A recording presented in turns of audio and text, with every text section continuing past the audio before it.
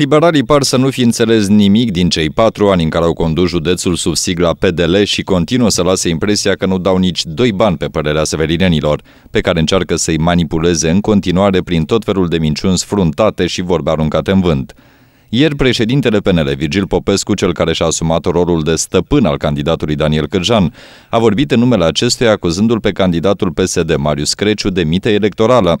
Mai exact, Screciu era acuzat că ar fi plătit o petrecere a pensionarilor care s-a desfășurat la sfârșitul săptămânii trecute. În realitate însă, încă o minciună tipic liberală, ca toate celelalte pe care le-au aruncat până acum la adresa candidaților PSD pentru că, așa cum s-a dovedit astăzi, bătrânii respectivi și-au plătit singuri meniurile de la respectiva petrecere. Din partea pensionarilor am avut uh, vreo 90 de pensionari. Uh, noi, eu am venit din partea dumnealor care sunt foarte revoltați de faptul că Partidul uh, Liberal ne-am proșcat cu noroi. Pensionarii sunt foarte supărați. Dimineața la sediu am avut peste 30 de pensionari care vroiau să meargă la sediu uh, Galaxii și să întrebe sau la PNL de ce ne-am proșcat. Noi am plătit, toți pensionarii s-a plătit. Culmea ironiei este că la respectiva petrecere au participat și socrii actualului prefect al județului, Cristinel Pavel.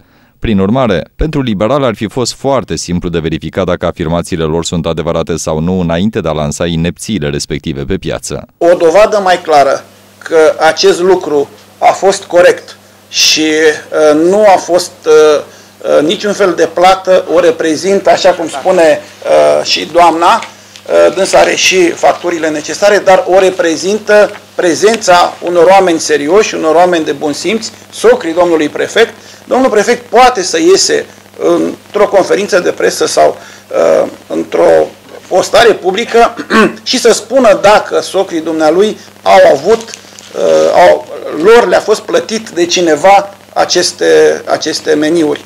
Așadar, acesta este modul în care PNL încearcă să-i convingă pe Severineni să le acorde votul, prin minciună, manipulare și calomnii la adresa contracandidaților. Este o minciună clară, marca PNL, o minciună clară a domnului Virgil Popescu, căruia îi place să facă acest gen de afirmații, nu vine cu niciun fel de probă în a susține aceste afirmații, mai mult decât atât, după ce trece campania, a și uitat de ce se întâmplă.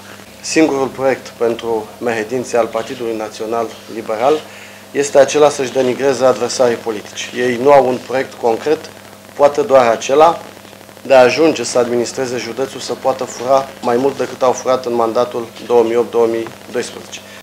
Liderii PSD au anunțat că în cazul în care liberalii nu vor retracta și nu își vor cere public scuze pentru minciunile vehiculate, se văd nevoiți să întocmească plângeri penale la adresa acestora.